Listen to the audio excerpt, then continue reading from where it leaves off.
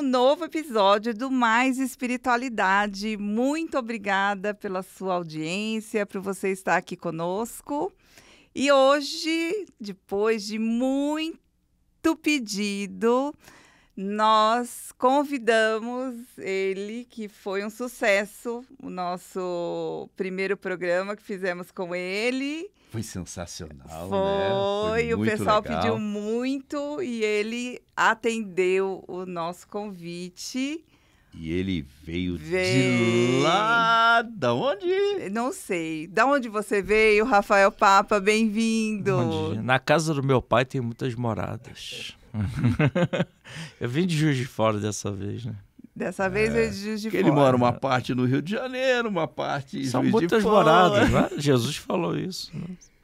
E São... tem vindo bastante para São Paulo, porque eu sei que você não veio só nesse podcast aqui. Não. Eu sei não. que o pessoal tem convidado muito você para participar é. de podcast. São Paulo é uma cidade muito bacana, né? Muito gostosa de, de respirar, de sentir. O trânsito é longo, né? Porque Juiz de Fora é logo ali mesmo, cinco minutos aqui, cinco minutos ali. Então você tem uma qualidade, né, do teu tempo, você aproveita mais o seu tempo. Mas quando a gente vai para uma cidade maior como São Paulo, tem esses deslocamentos, né? Claro, quando você mora perto do seu trabalho, tudo facilita, é perto, tudo fica mais fácil, né? Mas é... São Paulo é uma cidade muito gostosa, né? Respira intelectualidade, capacitação, serviços de qualidade, né? Então, a gente, eu, eu que meio que já no Sudeste, né? Já conheço muito Espírito Santo, muito Minas, muito Rio, agora eu estou explorando mais São Paulo, né? Que é que é uma cidade bem bacana, muito gostosa. Né? Mas para quem ainda é. não assistiu. Isso, para quem não assistiu, é, o Rafael, ele é psicólogo e que mais, Luiz? Ele é administrador. Administrador e também como espírita, ele é médium de cura e médium de psicografia. Fala um pouco e palestrante, de você. E palestrante. E, palestrante. É. E, e, um excelente palestrante. palestrante. Então, fala um pouco. Você apresenta pra gente, Rafael. É, dando... dando tentando puxar, né? A, aquele primeiro episódio, né? É, Para os que estão em casa, né? É aqui, né? Para os que estão em casa, né? Eu sou Rafael né? Eu moro em Juiz de Fora, né? De, Rafael Papa. Rafael Papa. É. E é Papa mesmo, né? Não é o nome artístico, não. É o nome mesmo da identidade. É, moro em Juiz de Fora, né? Muitas vezes vou para o Rio de Janeiro, onde trabalho na Casa Espírita do Rio de Janeiro, né? Ajudo a organizar o Congresso de Juiz de Fora, o Congresso Espírita, né? E estamos aí também desenvolvendo trabalhos no, no âmbito da psicografia, é... E da última vez que a gente veio aqui, a gente tinha acabado de lançar o livro 1, né? Olha que alegria. Que eram os transtornos está... mentais e os remédios espirituais. E agora já está no volume 2. E agora, outro mais um filhotinho, né?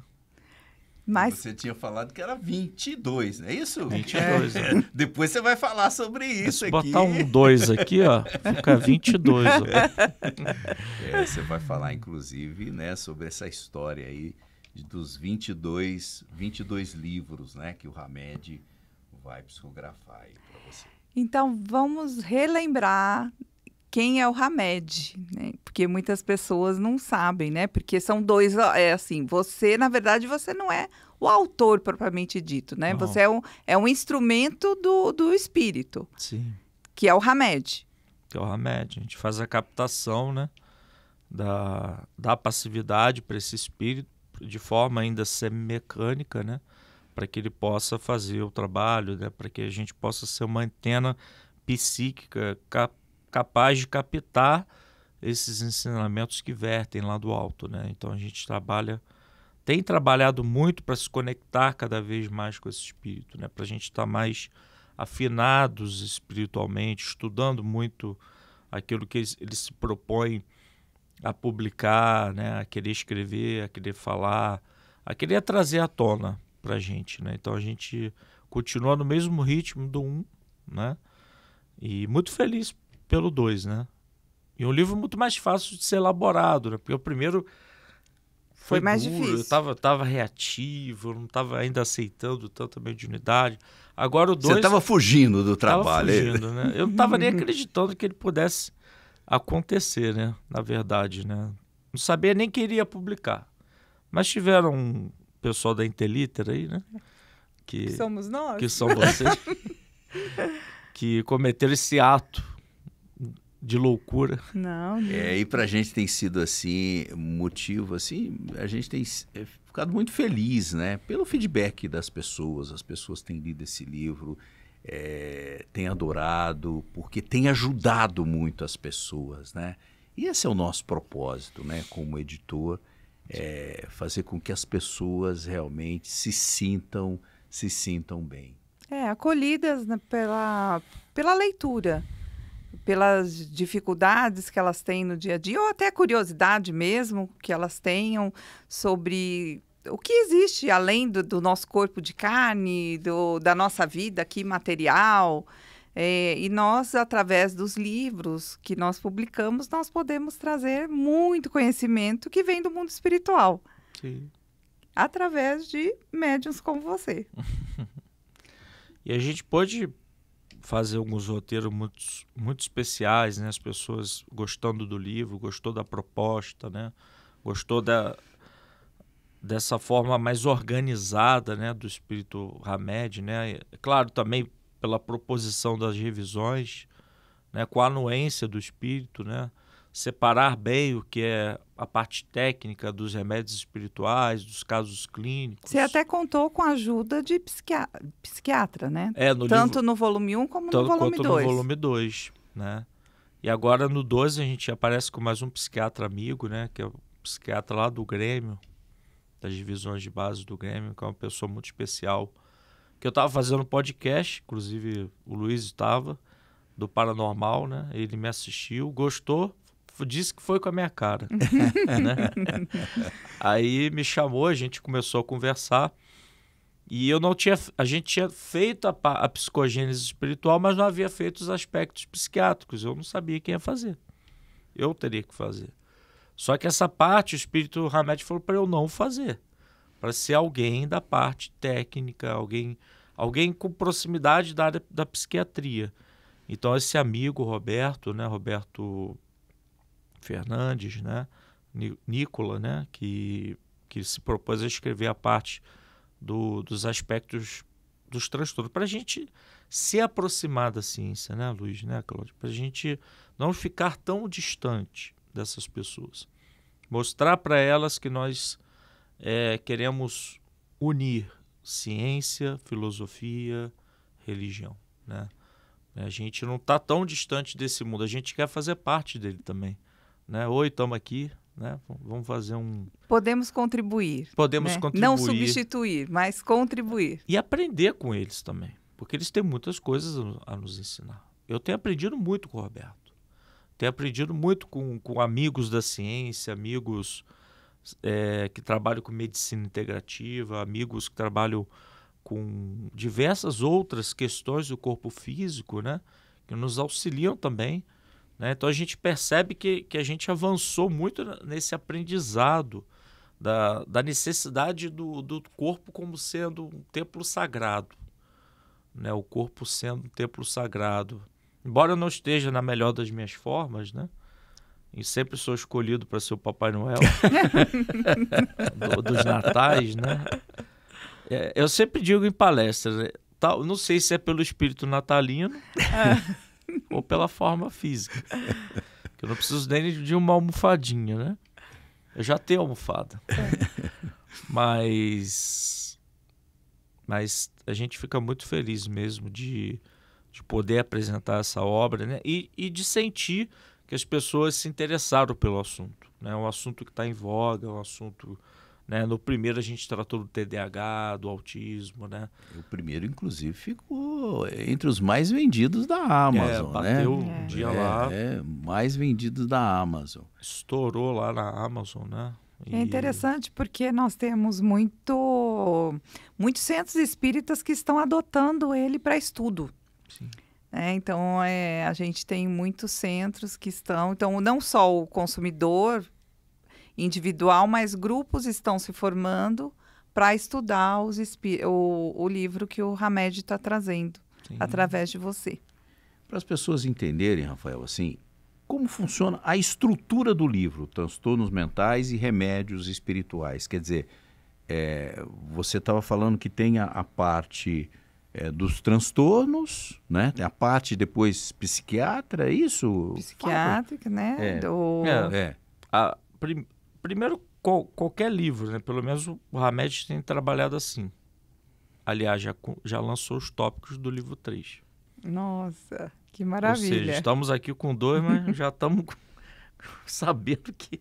Você vai voltar no 3, então. Vai voltar no 3, já, tá, já tá feito o convite. Eu tô igual ó. Rock Balboa. Rock Balboa, Rock Balboa 1, Rock Balboa 2, Rock Balboa 3, Rock Balboa 4. 5. Tomara que fique bom igual é, os filmes do rock, né? É. Porque os filmes do Rock Balboa foram melhorando, hum. né? Foram ficando bons, né? Os roteiros do, hum. dos filmes do rock, né? E eu, como gosto de boxe, é uma atividade que eu, que eu gosto muito de praticar, eu assisti todos os rocks, né? Mas ele, o, o espírito primeiro dá uma estrutura do, do livro, né? Para a gente poder até estudar mais o, sobre as temáticas, né? Se interar sobre o assunto, ouvir o que, que a ciência da Terra fala, né? E para que na hora a gente possa ser uma antena é, mais capacitada para receber aquele pensamento, né? Para que a gente receba a, a seja mais capacitado para receber aquilo que vem do alto, né? Para que, para que aquilo venha mais límpido, né? Mais do espírito e menos de mim, né? Mais organizado, mais estruturado. Então a gente conseguiu isso um pouco. Mais no livro 2. Melhorou, né? Pro do livro 1. Um. Você então, acha que foi mais rápido? A, foi, foi muito mais rápido. Bem mais rápida né? a psicografia. É, foi muito mais rápido, né? Então por ter, ter... O instrumento já estava mais afinado, uhum. é isso? É. Cheio de angústias. o instrumento é o mesmo, né? Eu, eu até digo no livro 2, né, que, que a gente é, é, deu prosseguimento, né? Quando a gente terminou um, no, no dia seguinte ele já estava querendo fazer o 2. Né? Eu falei, calma, não tem folga, né? Tem... E que hora que o, o Hamed aparece para você? À noite, de madrugada? Como que é, é que funciona? Então, o pessoal, no, no, numa palestra, acho que você estava, né, perguntou se, é, se, Quando eu chego em casa, ele está lá, né? Eu falei, não, não, tá não. Se quiser, eu mando para sua. não quero ir lá em casa, não. Mas o mas o Hamed aparece mais na quarta-feira mesmo, né? O Hamed não é o meu mentor espiritual. Isso é muito interessante ah, também. Certo. Eu tenho um mentor espiritual que eu não conheço, né? Assim como o Divaldo demorou, o Chico enrolou ele, né? Por algum tempo, né? Para dizer, para descobrir que era Joana, mas eu não sei que é o meu mentor espiritual. Eu sei que quando nós vamos escrever, a equipe do Hamed, né? Uma equipe muito grande. Ah, né? então ele não vem sozinho, ele não, vem, vem com, com a equipe. equipe. Vem com ah, equipe. Muitas vezes nem é ele que traz a ideia. Hum. Ele coordenando, ele envia os espíritos, né? E vai trazendo para a gente, né? Olha que interessante, né? Porque às vezes as pessoas não têm ideia é, da dimensão, né? Da ah. organização que funciona o plano espiritual. Né? Sim. Né? É, ele está lá, ele está lá. É, e do alcance, né? De um, um espírito da envergadura dele, ele consegue man mandar é. a, a mensagem sem precisar estar ali. Sem precisar estar ali. Presente. Algumas vezes é ele, é. algumas vezes não é ele. Então, assim, mas o que importa é a mensagem. Né? Quando a gente vai estudar Kardec, quando a gente abre uma obra, Kardec vem nos ensinar no livro dos médios que o que importa é a mensagem. E assim como Bezerra, as pessoas falam, ah, como é que o Bezerra de Menezes está em tantos centros, né? A, a, equipe de Bezerra de Menezes é enorme, né? E elas trazem a influência, as ideias correlatas do, do espírito, né? São treinadas, participam de assembleia. Existem assembleias no mundo espiritual. Né? Inclusive, é, sobre a mediunidade de cura, é, muitas vezes eles levam os casos né, para essas assembleias, estudam, verificam a possibilidade ou não da pessoa ser curada, né? Ter um alívio ali do sintoma orgânico. É muito interessante. E que a gente pensa que lá eles ficam soltos, perdidos. Não, é, é muito mais organizado. No livro dos Espíritos está escrito que aqui é uma cópia imperfeita de lá. Se aqui a gente acha que tem alguma organização, você imagina nas regiões mais superiores, né? O como que é organizado, como que as coisas são muito mais bem elaboradas, né? Então, então você é... tem um dia, né? É, tem um já dia programado certo, que o Hamed né? e o espírito Hamed vem se manifesta naquele uhum. dia horário para elaborar o trabalho. E né? ele também te acompanha quando você faz o trabalho de cura no centro espírita, não é isso? Ele faz parte da equipe. É do, dos médicos espirituais. Isso, exatamente. E, e isso tem sido para você uma fonte também de conhecimento, né? Porque agora que você psicografou transtornos, você tem uma outra visão dos tratamentos que vocês fazem lá? Como que é isso?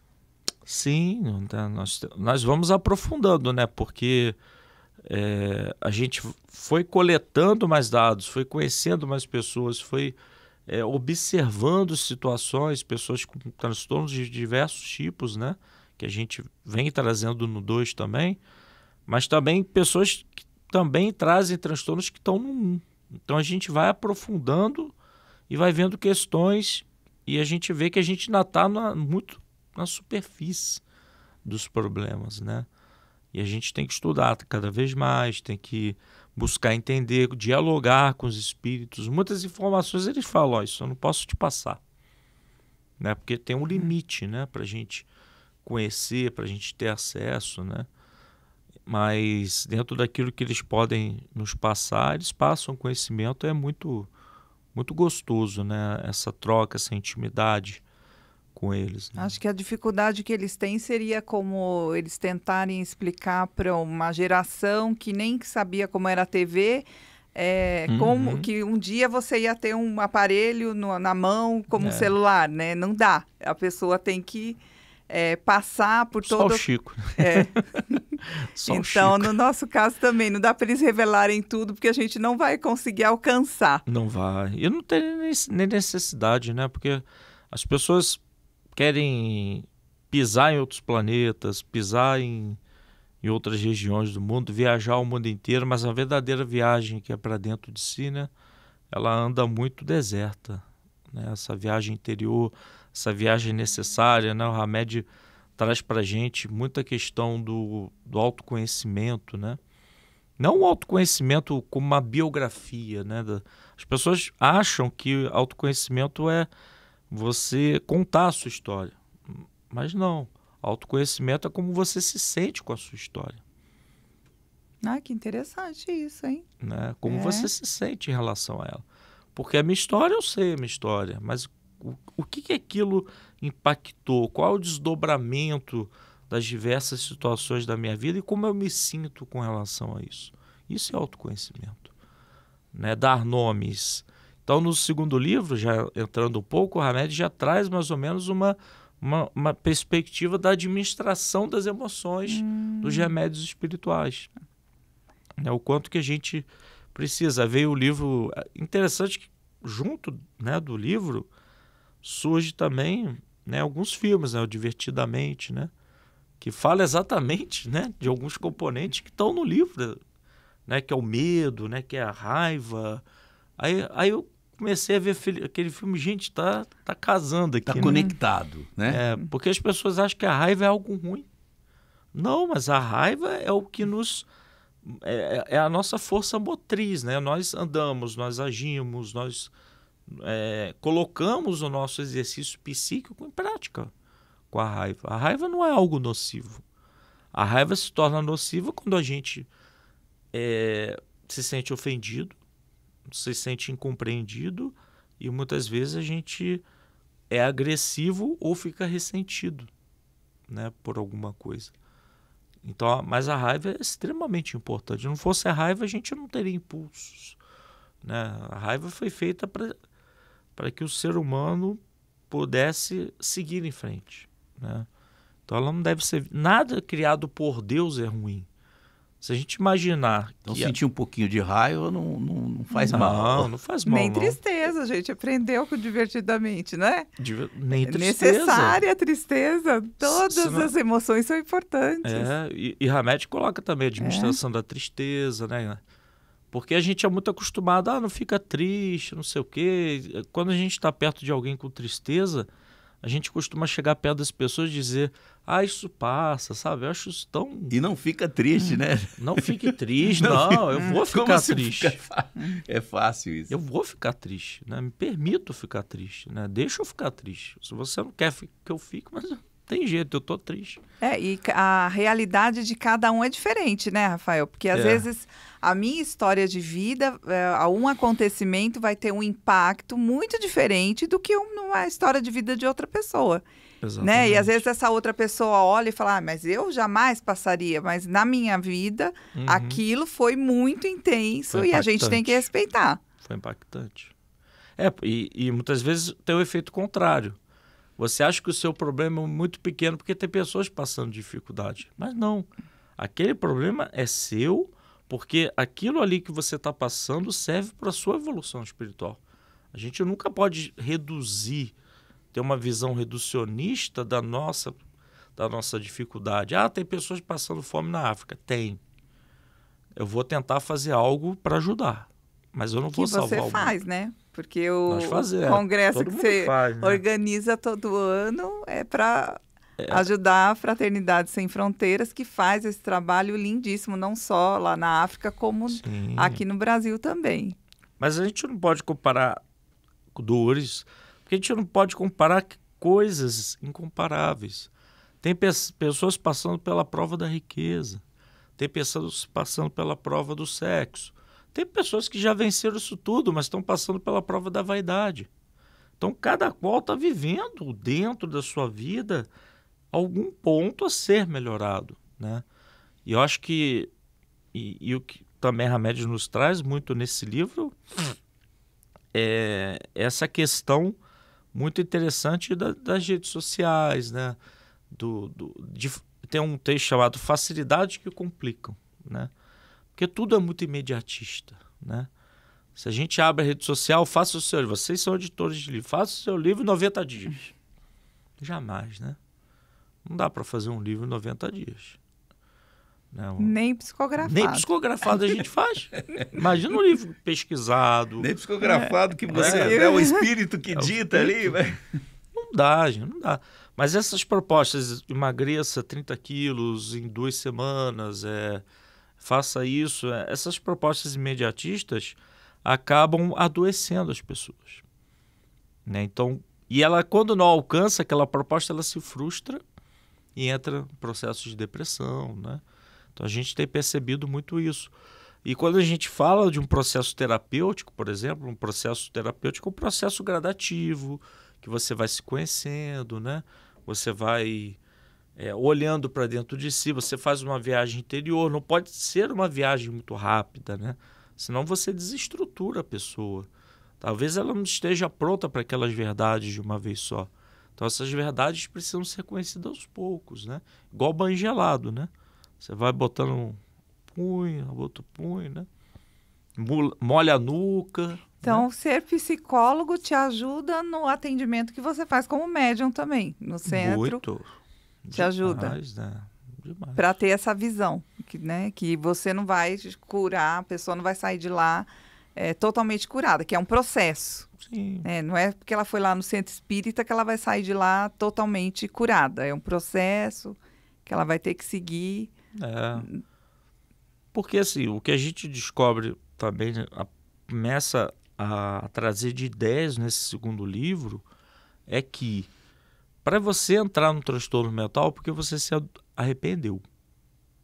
Porque o que que é a culpa? É quando o espírito se arrepende. Eu me arrependi, eu fico culpado. Se você tem um transtorno mental, isso não é tão ruim. Porque eu já me arrependi. Talvez ainda não elabore comportamentos mentais tão sofisticados, tão bem assertivos, mas eu já me arrependi. Então, complexos de culpa que causam transtornos obsessivos compulsivos, síndromes do pânico, né, e tantos outros, psicoses né, gravíssimas, esquizofrenias, é, isso significa que você já se arrependeu. Isso é um passo importante. A humanidade está em processo de regeneração. Ah, mas está todo mundo com transtorno. É assim mesmo. A gente está aprendendo. Então a gente tem que aprender a conviver com o transtorno. Se a gente tem um transtorno, a gente tem que ter raiva dele. Né? Porque a energia que a gente deposita no transtorno, odiando ele, é a energia que a gente podia estar depositando para administrá-lo, para viver, ter uma funcionalidade maior na vida, descobrir E você soluções. sabe disso, porque você tem transtorno, né? Sim, TDAH. E, e talvez alguns outros. né? Eu não sei. E você se tornou espírita, você falou da outra vez que você esteve aqui, porque você teve é, pânico, é? Transtorno de pânico, Transtorno né? de pânico. É. Então você já são dois, né? já estou batendo. Tô no bem, eu tô bem no ranking, né, de transtornos mentais, né? Mas é aquela coisa, eu não tenho raiva do TDAH. Né? Claro que eu gostaria de acordar super interessado em fazer tudo, com uma dinâmica, mas não é assim. Então eu tenho que me aceitar como eu sou E Não. administrar. e administrar. Eu sou assim, eu sou desse jeito. Isso não significa passividade. Isso significa você conhecer a sua limitação. Então, eu aprendi, por exemplo, com o TDAH que eu tenho que fazer menos coisas, mas coisas qualificadas. Que eu seja qualificado naquele tempo que eu vou estar ativo. Eu não preciso estar o tempo inteiro ativo. Talvez eu não vá conseguir estar o tempo inteiro ativo. Mas naquele pequeno tempo de ações eu vou vou tentar dar o meu melhor. Né? Então a gente vai e vai se perdoando também, né?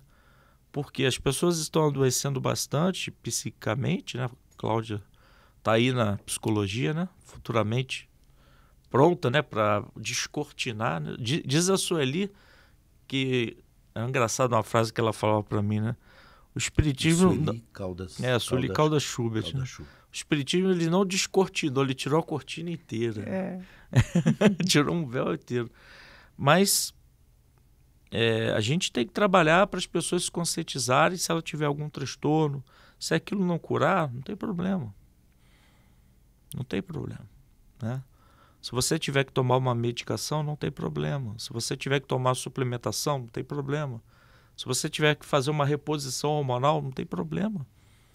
Nós estamos aqui em aprendizado.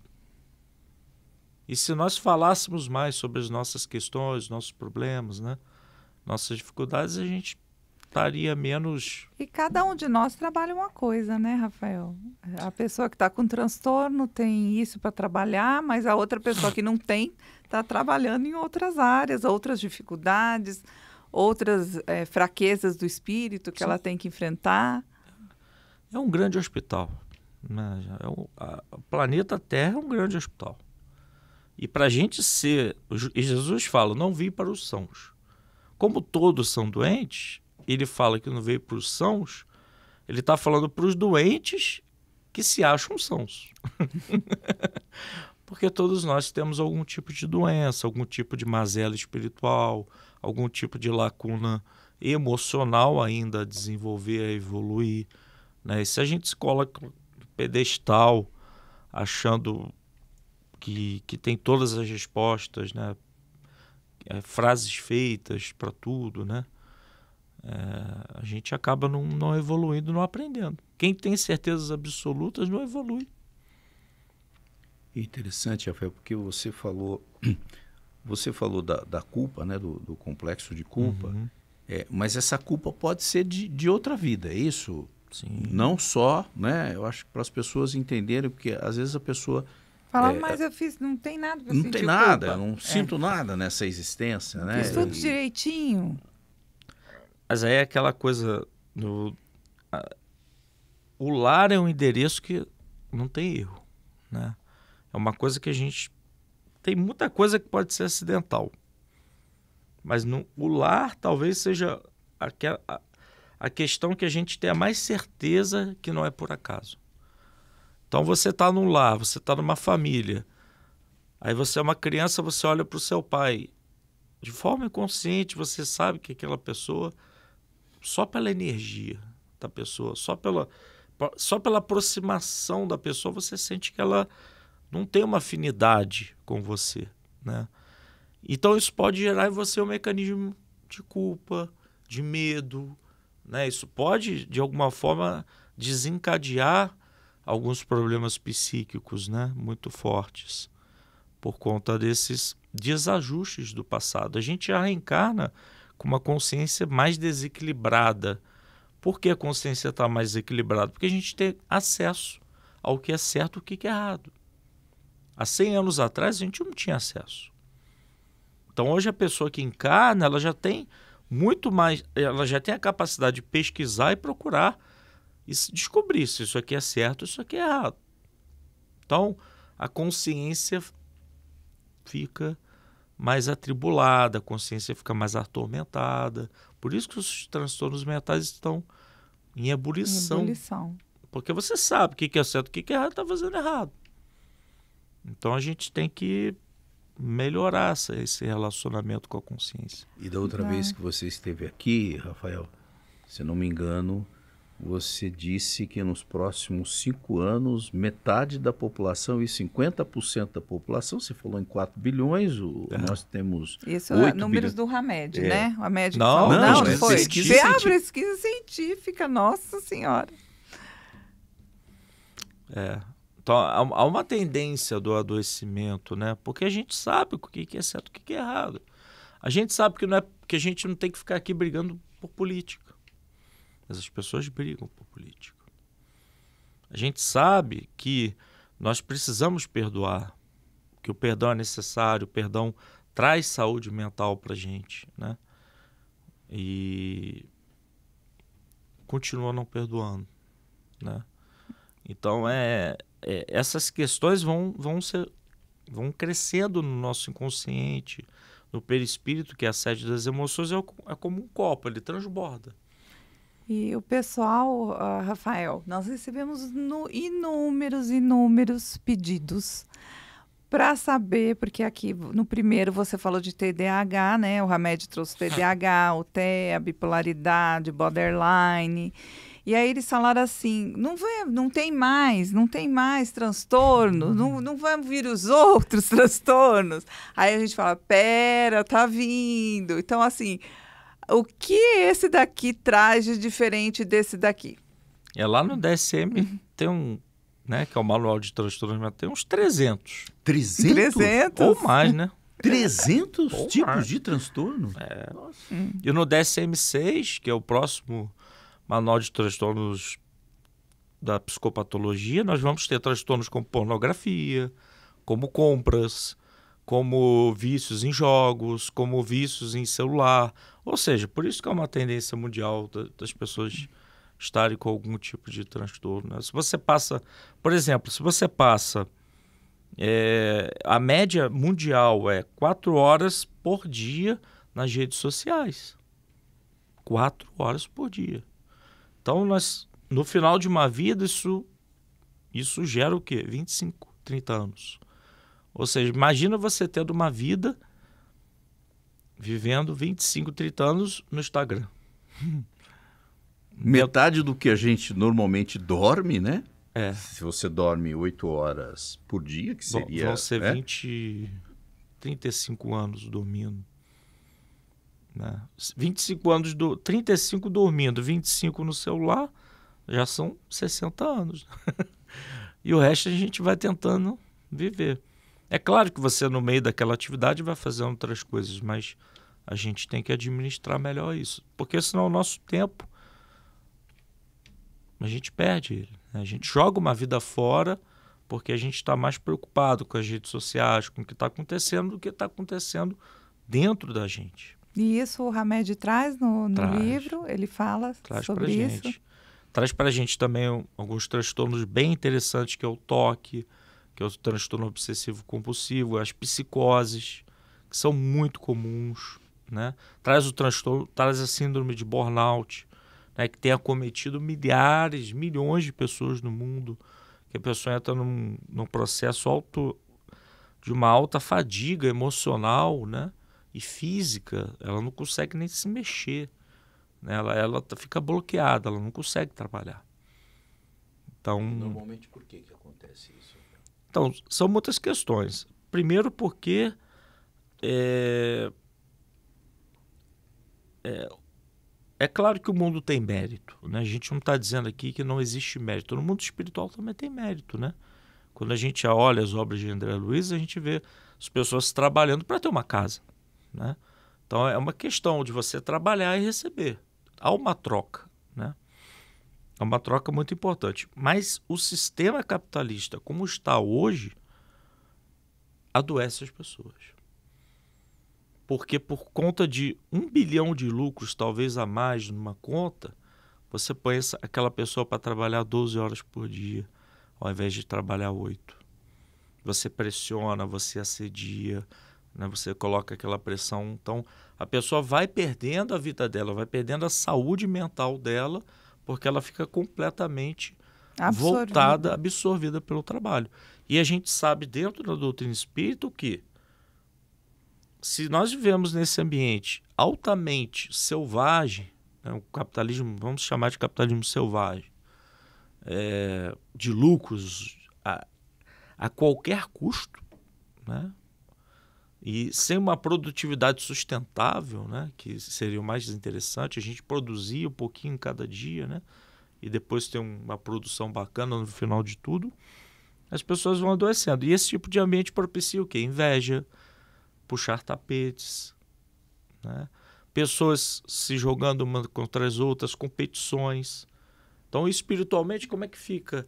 A, a psiquicamente, É, né? Não uma competição saudável, uma competição Não. a- adoecedora, né? arrojada, adoecedora. Então, espiritualmente, é, existem fluidos, correntes eletromagnéticas altamente deletérias. e Você canaliza aquilo. Você canaliza essas correntes deletérias, essas correntes eletromagnéticas deletérias, o que ah, contribui para o esgotamento emocional. Então, a pessoa dorme, ela não descansa. Pode dormir 12, 24, 36, 72, ela não descansa. Então, o burnout é uma questão muito mais do que física, muito mais do que biológica. É muito mais emocional e espiritual do que qualquer outra coisa. E para isso a gente tem que aprender a dizer não. A gente tem que falar assim, ó, o meu limite nesse emprego é isso. E se todo mundo fizer isso, os empregadores vão começar a respeitar as pessoas. Porque vai todo mundo dizer não. Se está todo mundo dizendo não, ele vai ter que mudar a estrutura dele. Então a gente tem que saber dizer não. Mas não é um não dito de qualquer forma, é um não com significado, né? É um não sabendo dos, dos limites, né? Sabendo da vida que leva, né? Por exemplo, a gente tem um caso clínico, né? Do, de um burnout que a gente coloca no livro. A pessoa trabalhava 12 horas por dia, dormia apenas 4 horas, é mãe, mãe solo, o que ela vai viver? Né? Se você tá vai do- até o momento que ela não. Não vai dar conta. o, o organismo para, fala assim: não, você não vai parar, mas eu vou parar por você. Eu vou parar por você. Eu vou te frear, porque eu não consigo mais avançar. Né? Então isso é interessante. Né? Então a gente tem que respeitar mais os processos de produtividade, porque a gente está se comparando o tempo inteiro. A gente quer uma vida perfeita, né? a gente quer uma vida é, sensacional, uma vida que não existe. Né? E dentro dessa vida que não existe, a gente acaba extrapolando né? dentro do, do exercício profissional. Né? Isso vale até para o espiritismo. Ah, quantas vezes eu vou no centro espírita? Cinco vezes por semana. Por quê? Para que, que a gente vai tanto no centro espírita? Porque né, até isso, até a ida ao centro espírita tem que ser bem administrada. Eu vou para quê? Qual é o meu propósito? Será que não é uma fuga? Aí o, o, o traz uma fugas emocionais, né? Será que eu visitar o templo religioso muitas vezes na semana eu não estou fugindo de conflitos conjugais com meu marido, com os meus filhos? Enfrentar a realidade da vida, enfrentar né? a realidade da vida. E quando você não enfrenta a realidade da vida, você começa a criar é, realidades paralelas que culmina talvez até em psicoses. Que, que, como nós falamos no outro episódio, né? potencializa, os obsessores potencializam esses episódios paralelos trazendo a pessoa para o surto psicótico, que é gravíssimo. Deixa a pessoa sem saber como é que ela está, ela fica completamente atordoada, né? Então, as fugas emocionais são muito constantes, né? Nos dias de hoje. Muito constantes e muito vivas. E para cada transtorno, o Hamed traz um, um, um, remédio espiritual? É, novamente, ele traz a psicogênese, né, o que seria uma tendência comportamental daquela causa. Por exemplo, um toque, né? Isso. Ele traz algumas informações que podem ser diretrizes de um tratamento, né? principalmente na parte dos remédios espirituais. E uh, o gente... centro espírita pode colaborar muito, muito, Com, com esses transtornos. Você poderia dizer um caso assim que para você foi relevante, que você achou super, super interessante e que a pessoa foi lá no seu centro e, e, e conseguiu resolver ou minimizar o, o transtorno que ela estava passando, Rafael? Então, um caso muito interessante, porque é, a gente coloca até no livro. É um caso de um, de um japonês que veio ao Brasil, né? Eu trabalho numa universidade em Juiz de Fora. E, e ele veio como intercambista.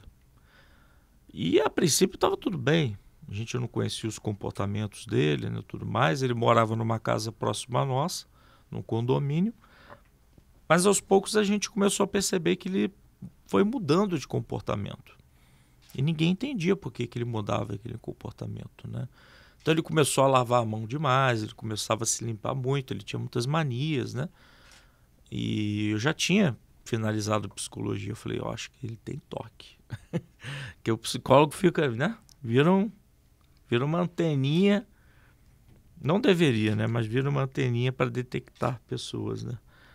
E, e ele chegou um momento que ele começou a ter crises muito sérias, né? crises de choro, depressivas, né? e começou a entrar no banho 8 da manhã e sair só 5 da tarde.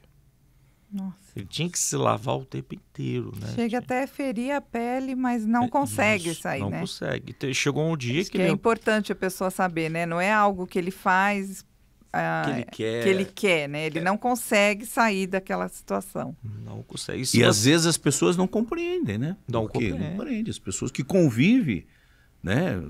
Essa pessoa é louca, né? Como que ela, ela tem esse tipo de comportamento?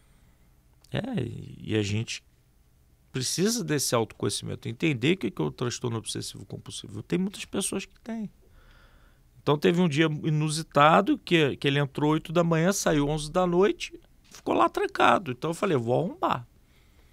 Eu vou abrir a porta, eu vou arrombar. De repente eu entro, ele está tá morto. Ou dá para resgatar. Então eu arrombei a porta. Aí, de uma forma inusitada, tinha um varal. Ele estava lavando todas as cédulas de dinheiro que ele tinha. Aí ele colocou um varalzinho assim, né? Aí ele chorou, ficou lá sentado no banheiro, chorando, dizendo que não conseguia sair daquele, daquela situação. Depois a gente veio descobrir, quando ele veio do Japão, ele trouxe uma medicação, né? Trouxe uns dois potes, né? Cheios de, de comprimidos. Ele havia parado a medicação. Hum. Então isso agravou o processo dele. Isso é importante, né, Rafael? A pessoa não parar a medicação não. sem orientação médica, né? E ele parou. Né? Ele parou a medicação, né? A gente sentou com ele, conversou. A gente já com mais habilidade para ouvir, né? Acolher, receber muito bem nós convencemos ele a voltar a tomar a medicação, né? ele voltou a tomar a medicação. Em três semanas ele já apresentou uma melhora do quadro dele. Ninguém reclamava muito por ele ficar lavando a mão, porque a gente já sabia que era um comportamento normal dele e a gente tem que respeitar também a limitação do outro. Né? E o bacana é que surgiu um teatro. Né? Lá em Juiz de Fora teve um teatro que algumas pessoas da casa participaram e ele participou. Porque as pessoas com toque, elas têm muita dificuldade de falar delas. Elas estão sempre olhando para fora. O fora tem que estar tá organizado porque dentro está desorganizado. Então, o teatro foi uma forma da gente poder levá-lo à compreensão de si mesmo, para que ele pudesse externalizar os seus sentimentos, a sua cognição, a sua inteligência. Então, o teatro foi muito importante para ele poder aprender a se expressar no mundo. né? Então ele fez dois meses de teatro. Depois desse período, ele já conseguiu entrar na psicoterapia para falar um pouco dele, das dificuldades dele, até porque ele tinha que voltar para o Japão, né? Então ele já estava muito melhor, né? E o Hamed ele traz aqui nesse livro a expressão dos sentimentos como uma cura, né? Porque quando a gente fala de algo que a gente tem dentro da gente, a gente consegue já pensar sobre isso, consegue já vai elaborando, vai elaborando, né? Vai pensando melhor sobre, já vai estruturando aquilo dentro da nossa mente, né? Organizando. Então ele, todos nós precisamos, né? E a gente tem uma cultura muito castradora. Ah, não chore. Ah, isso é frescura. Como né? você falou da outra vez, isso passa. Vai lavar roupa suja, isso passa. Né? E felizmente a gente ainda vê na sociedade esse tipo de conduta que tira a legi legitimidade da dor do outro. Isso é extremamente prejudicial, né? porque a pessoa não consegue. Se ela sabe que vai ser julgada, ela não vai se abrir. Né? Então, olha, olha a importância do profissional, olha a importância do acolhimento fraterno no centro espírita.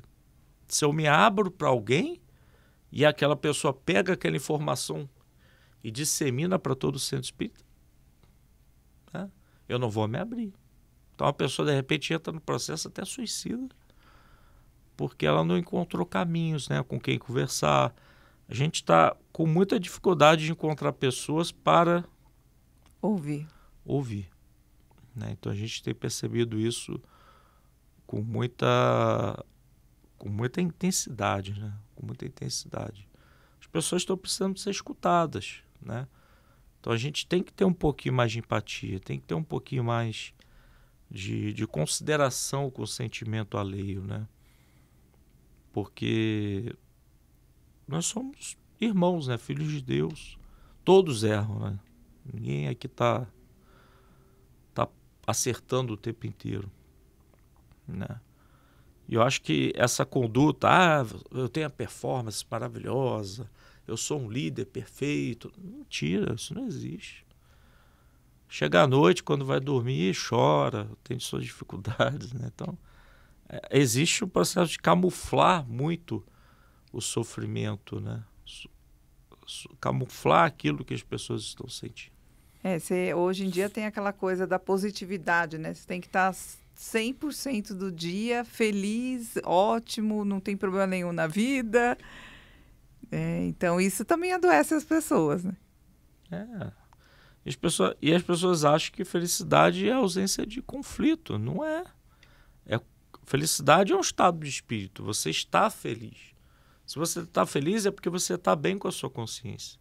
Você está em paz consigo mesmo. A felicidade é estar em paz consigo mesmo. Isso é felicidade. Alegria é uma emoção transitória. Felicidade é um estado que pode ser permanente, que é um estado de espírito que você tem. É um estado de espírito que você é, respira, né? que você anseia para a sua vida. Mas isso não significa que você não vai ter conflito, que você vai, não vai ter que trabalhar, porque ah, vem aquela velha frase né? que me perturba muito. Ah, se você faz o que você ama, você não trabalha nem um dia da semana. Aquelas frases de efeito aqui, isso é mentira, né? Romantizam você amar um trabalho. Não, se você, você trabalha e cansa também. Então você precisa dormir, né? Descansar, como qualquer outra pessoa, né? Eu tinha um professor no, na, na psicologia, né? Eu cheguei para ele e falei que eu não tinha feito um trabalho porque não havia tempo mesmo. Porque eu fiz uma palestra, fiz outra, Aí não consegui fazer o trabalho. Ele falou assim: O que, que você faz de meia-noite às seis da manhã? Eu durmo. Ele falou: Para de dormir. eu falei: Não, não paro. Não paro. A geração de hoje não pode aceitar esse tipo de comportamento, entendeu? Enquanto eles dormem, eu trabalho. Uhum. Não, vai dormir também. Pô. Você tem que dormir, você tem que produzir quando você estiver acordado. Para não ter burnout. Para não ter burnout. né? Então, é, Aí quem falou, ah, eu estudo, ah, então eu vou te reprovar. Então me reprove. Uhum. Aí o professor ficou olhando assim, né? Hum. Será que eu reprovo ele?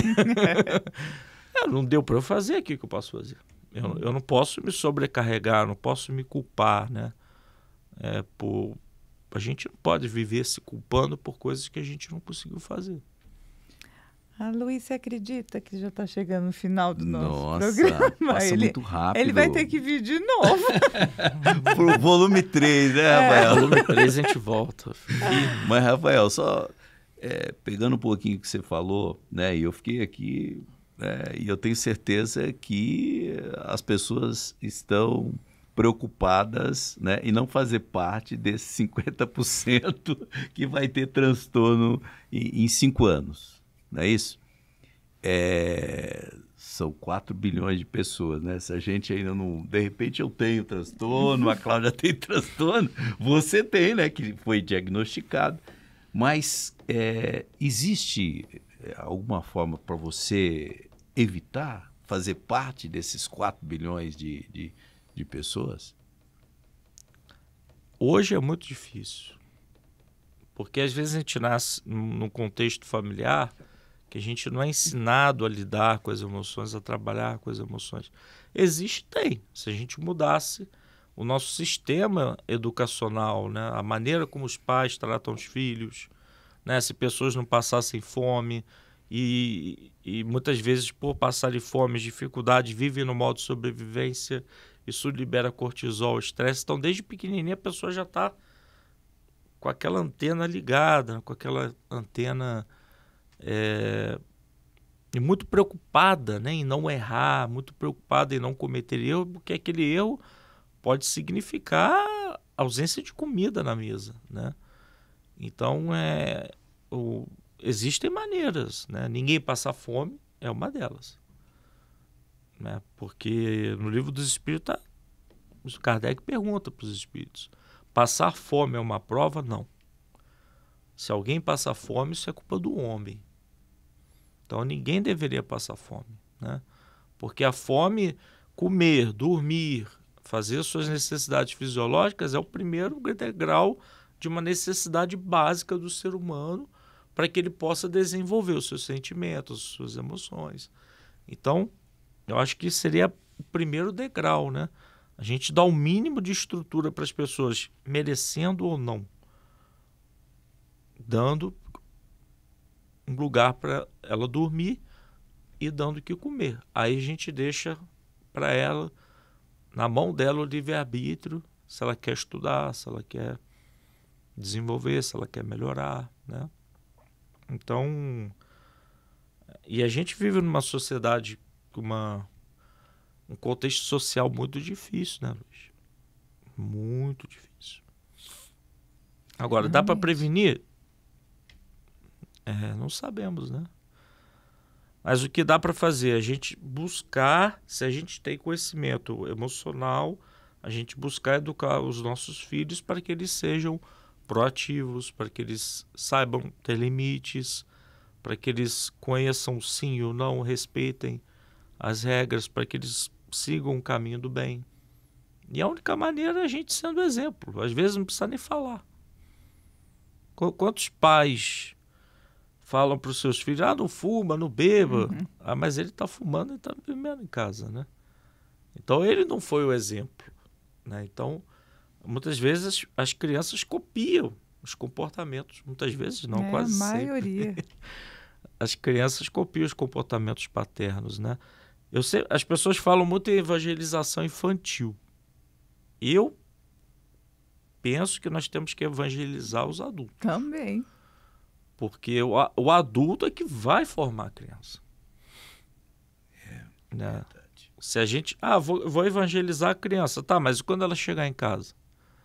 Ela vai ver pai e mãe discutindo, jogando as coisas no chão, tendo aqueles comportamentos agressivos, ela vai Introjetar aquilo, né? introjetar e vai armazenar, vai armazenar que aquilo é um comportamento Que é o exemplo. que é um exemplo. Né? Então, eu- a gente tem que evangelizar adulto. Né? Evangelizar adulto.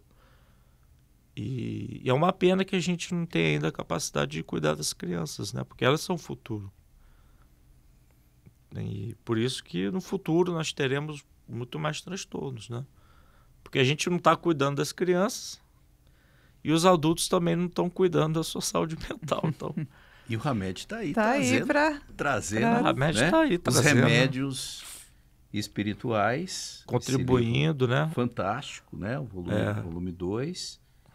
Infelizmente, nós estamos chegando É, chegamos ao ao fim. final. Passou rápido, É. mas eu Passou, gostaria, Rafael, que você, as pessoas que, que queiram ter contato com você, que você divulgasse as suas mídias sociais, como que a pessoa pode, pode eh, fazer um contato com você. É, Para a pessoa adquirir o livro, né, basta acessar o hiperlivros.com.br, né, que, que é o site da Intelitera, né, que lá acessa os- todos os livros, né, e principalmente os dois volumes.